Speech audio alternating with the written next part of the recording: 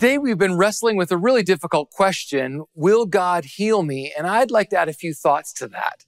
You know, this question stems from our real pain and our hope and our desire for wholeness. And to understand the answer, we must delve into the nature of God, His promises, and His will for our lives, because it's about Him, not always about us. So first we need to recognize that God is, He is compassionate and loving. Psalm 103 verses 2 and 3 remind us, praise the Lord, my soul, who forgives all our sins and heals all of our diseases. When you even look at the life of Jesus, his miracles, healing the sick, giving sight to the blind, and raising the dead, they all illustrated God's immense love and desire to restore us. Yet, the way he heals can vary. Sometimes it is immediate and miraculous, and we praise him for that. But other times it is gradual and even occasionally it's ways we don't expect. The apostle Paul, one of the great heroes of faith, even experienced this with his thorn in the flesh.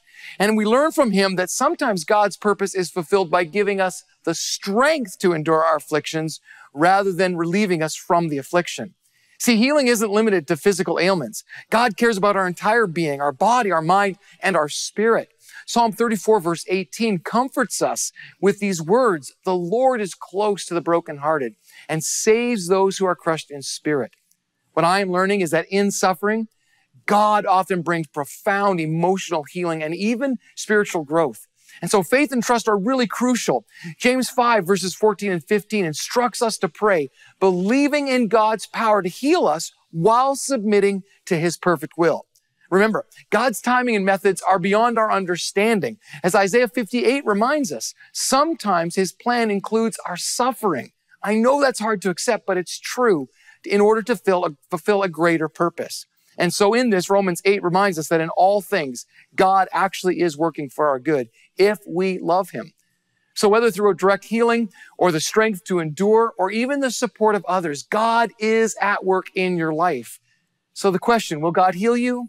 Well, the answer really is rooted in God's infinite love and God's perfect wisdom.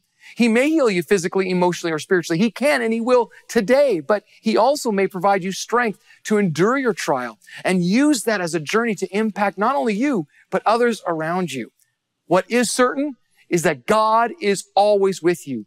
What is certain is that he's always working things together for your good. So let us approach God with faith trusting in his timing and resting in his promises. Remember, it is God who is our healer. He is our refuge and he is our strength. His love for you today is unwavering. And that is a stepping stone to being who God has created you to be.